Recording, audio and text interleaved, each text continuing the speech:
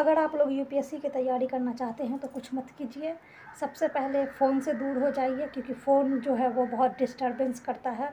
इंसान से दूर हो जाइए, दोस्तों यारों से दूर हो जाइए, और एक शांति जगह ढूंढिए, जहाँ आपको डिस्टर्ब करने वाला कोई ना हो। और एक बंद कमरे में दो साल अच्छे से स्टडी कीजिए। आपको आईएएस ऑफिसर बनने से कोई नहीं रोक सकता है।